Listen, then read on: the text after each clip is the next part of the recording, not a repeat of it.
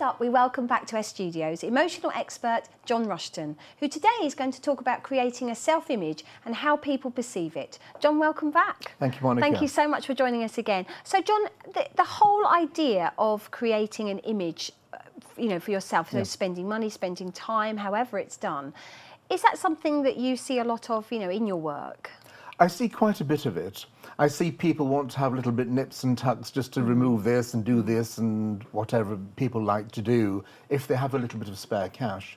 It's when it becomes obsessive and you have an image which is not you, it's of somebody else.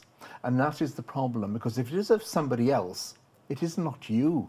Mm. You are not thinking and talking and walking the person you should be. Mm. You're trying to emulate somebody else or an image of somebody else based on, wow, I think they're super cool. Now, there's nothing wrong with saying, I think they're super cool. And there's nothing wrong with saying, I love their clothes. I wouldn't mind buying something like that because we all do it. We do our houses like that, we buy our cars, we even do our gardens by seeing somebody else's, oh, that's nice, and we copy it.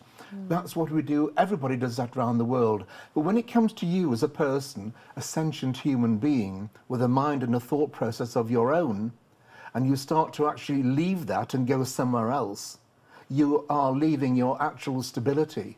You're actually looking at something else. And whilst the, the journey from A to B in a transient time may be good, just over a year because you're doing this. It's all very invigorating, exciting, and wonderful and marvelous and fluffy and cuddly mm. and all mm. this kind of thing. When it's finished, then what? Where are you? Because your perception of yourself may not be what everybody else's perception is. People will love you for who you are.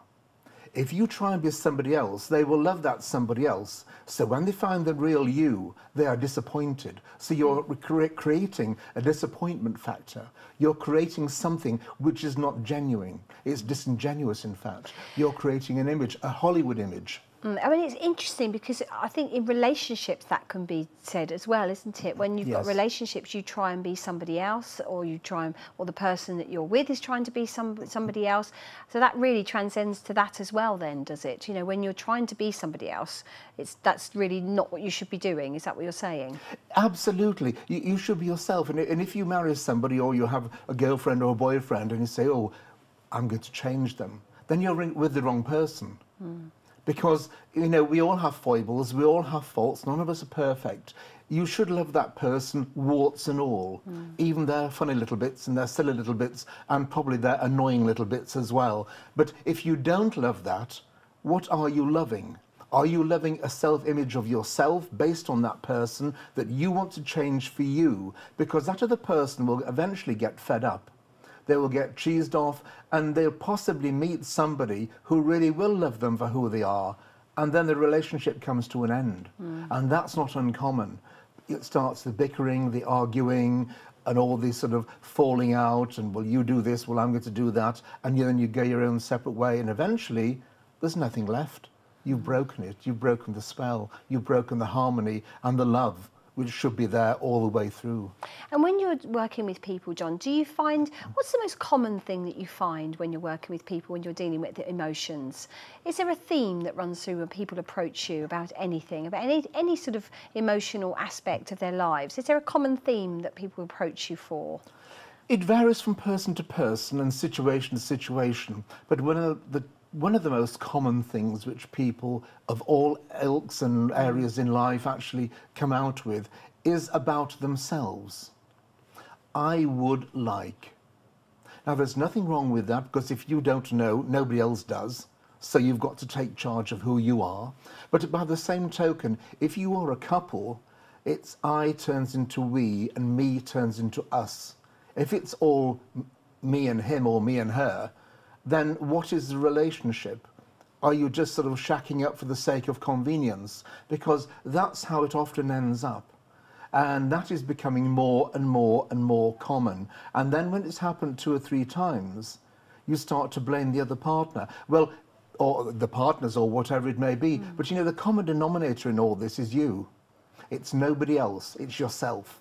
And you've got to look at yourself and think, well, if it's going wrong time and time and time and time again, it's me. Mm. I'm the common one, not the other people. Mm. It's me. Mm. I'm the common denominator. And so you've got to understand that, you know, you've got to give and take.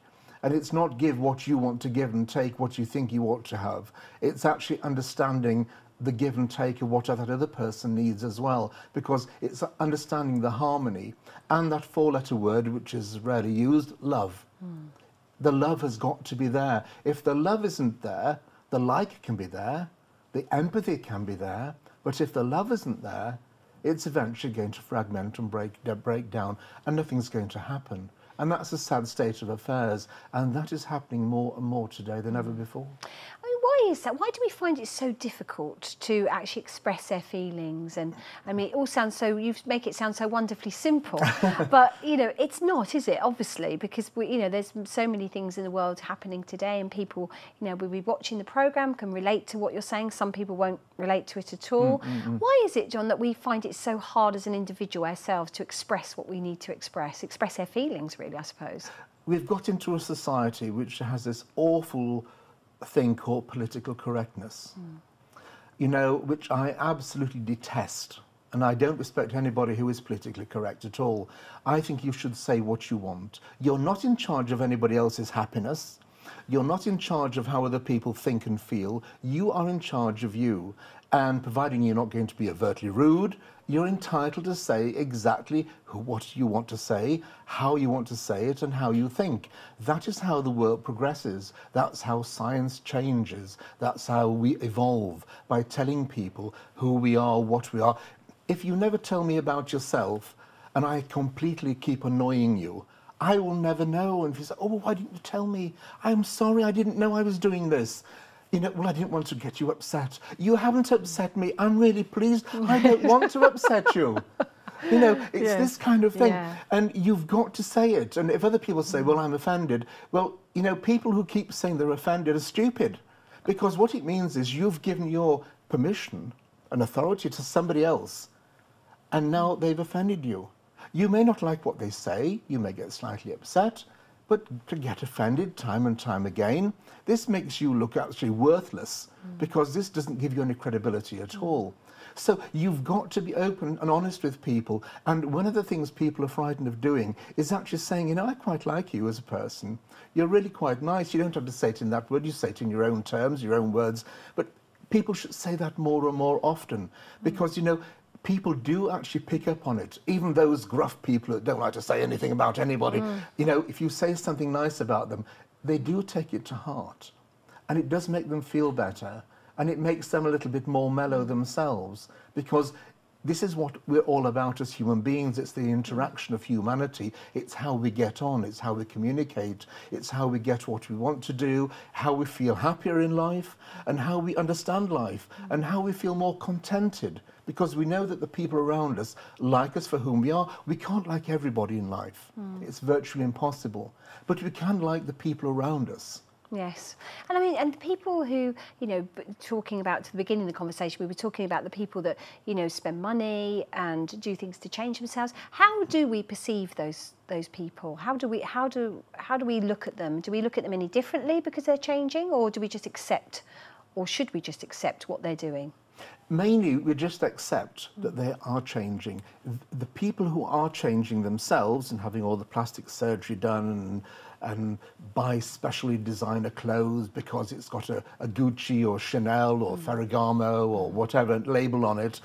You know, it is look good, feel good, and, and you are your shop window, so whatever you look like and whatever you say is part and parcel of your shop window, so that is important. But over and above that, people will like you for exactly who you are. Mm. So if you start adding more and more and more, they'll say, oh, that's nice. Or maybe they won't. Maybe they'll say, what on earth are they doing? So it's really the personality. It is indeed. Keep your personality is yes, what you're is. saying. Absolutely, mm. yes, yes, yes. And then that personality is really important to show people exactly who you are. Yes, because they love your personality. It's the, your personality they are talking to. They're not talking to your dress or your hair or anything else. That is a visual aspect which they is pleasing towards them. But anything other than that they're talking to you. You're the person that's going to make something. And that, that's the bit they're going to really like and enjoy and fall in love with. Nothing else. Because if they fall in love with an image, It's like the Hollywood facade. You go into Hollywood, if you ever go to Hollywood and look, and you see these fabulous facades, mm. but when you open the door, it's just weeds and scaffolding behind. Mm. It is a facade, and it comes off well in a film, but it's only manufactured. Mm. It's not real. John, it's fascinating as always. Thank you so much for coming on the My show again. Lovely to see you.